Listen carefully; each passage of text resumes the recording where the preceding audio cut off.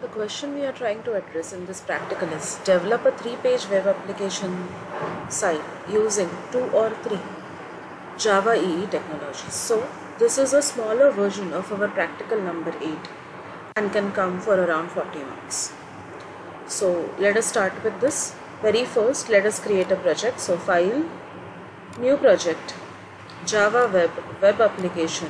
Next, project name is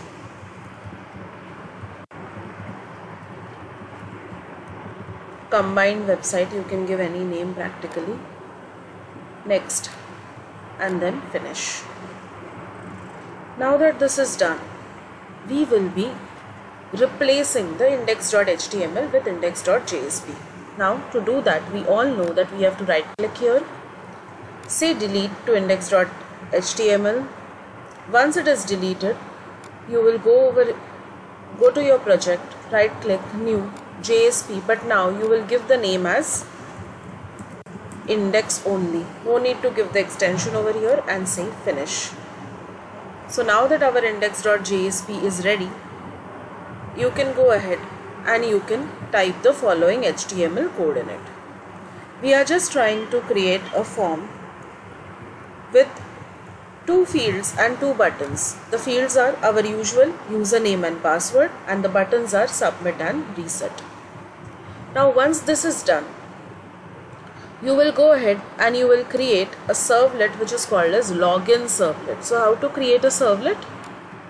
Right click new and servlet.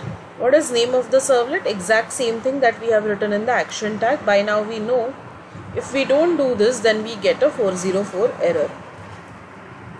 So servlet package I'm I'm just using a demo package so let's say demo p. Next very important add the information to the deployment descriptor otherwise it will give you an error. Later on say finish. Now clean this servlet.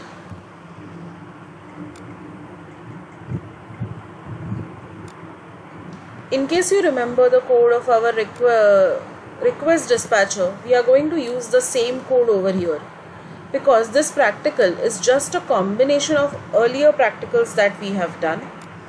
As you can see, I'm copy pasting this line over here, adding a semicolon, deleting rest of the things.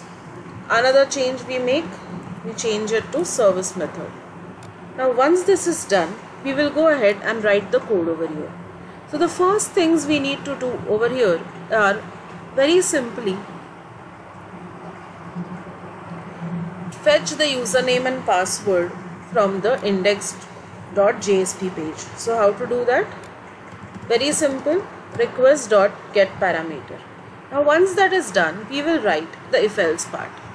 Now we are checking whether the password is equal to servlet or no. And we are checking whether the username is equal to admin or no. If the username and password match, then well and good, we will go ahead otherwise we will say login failed. So again we are going to include the forward we are going to use the forward and include method just as we had used it in request dispatcher practical.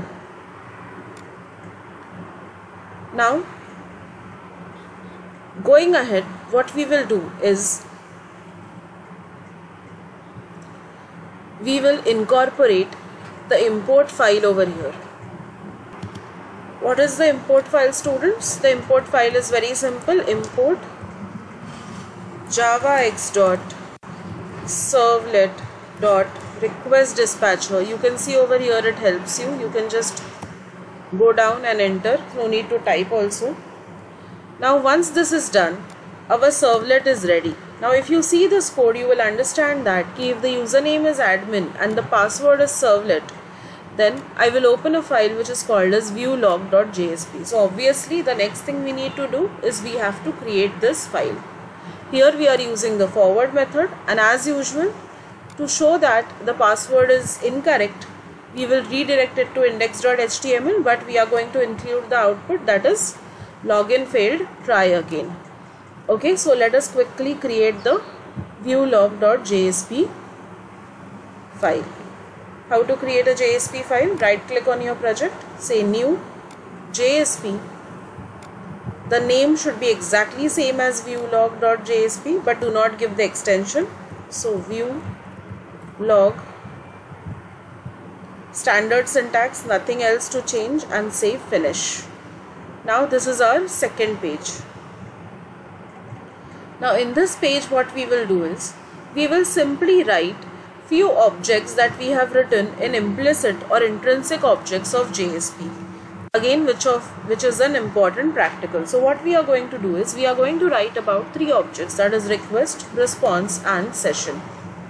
Okay so once you have done that practical you can easily do this practical also. So no need to prepare separately for this practical. Request dispatcher concept index.jsp concept and uh, intrinsic object yeah implicit object concepts once you know you can write this practical on your own. Now once this is done you can simply run the code and you can check whether you're getting the correct output or no. So my username I'm giving the correct username now. So admin and correct password so servlet make sure. I have entered servlet as small so obviously I'll enter it small. You can see over here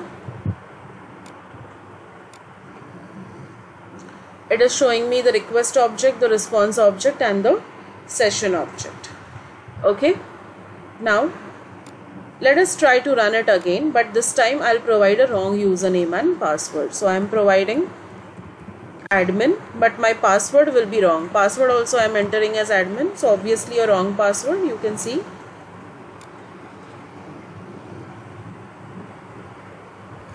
It is showing me some error now what is the reason it is showing me the error very simple thing I have said index.html over here. Instead of HTML, I should have said JSP.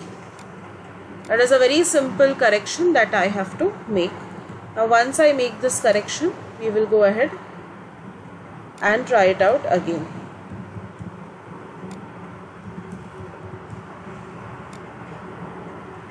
You are able to see login failed, try again. So students, your extension will also matter this is another error that I have discussed during discussing the practicals. So that's it for this practical.